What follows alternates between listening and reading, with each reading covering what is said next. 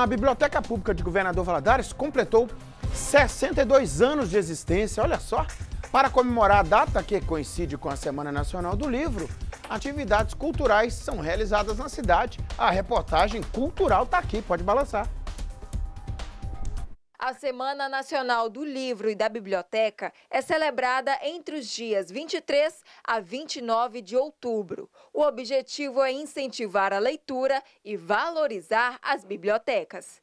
Em Governador Valadares, o Centro Cultural Nelson Mandela e Biblioteca Pública Municipal Professor Paulo Zap prepararam uma programação especial. Visitas guiadas, acervos literários de obras raras, além de exposição de livros na Feira de Arte Moderna. A biblioteca saindo do seu espaço para levar conhecimento né, para outras escolas. No sábado nós vamos estar lá na feira, levando o nosso acervo antigo para a exposição.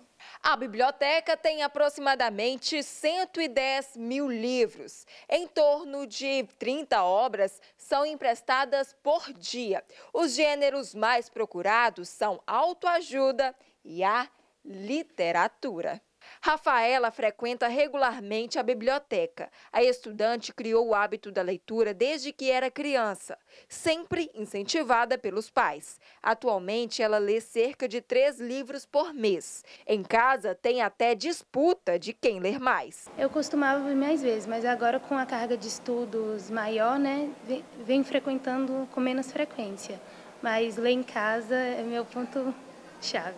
Nesta semana, a biblioteca também comemora 62 anos. O local ficou bastante movimentado, o que deixa Júnior bem feliz. Foi uma emoção muito grande, porque eles chegaram e conheceram a biblioteca e ver que aqui tantos livros, nós somos quase 110 mil livros aqui, de todas as áreas e sim, o encontro com eles foi emocionante. Júnior enfatiza, a leitura é fundamental para o desenvolvimento. A importância da leitura é promover o autoconhecimento intelectual, porque através do conhecimento ninguém te tira e as pessoas abrem a mente para o mundo.